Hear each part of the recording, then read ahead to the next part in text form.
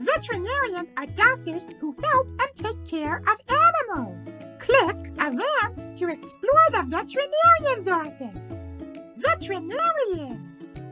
Veterinarians help take care of lots of different types of animals like dogs, cats, snakes, even horses.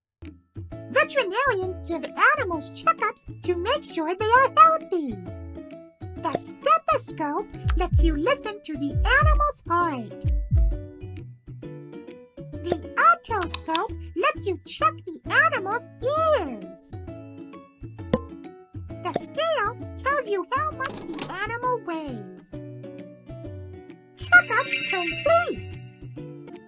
Veterinarians help take care of animals' teeth, too. Let's get these choppers nice and clean. Make sure to get looking way to go!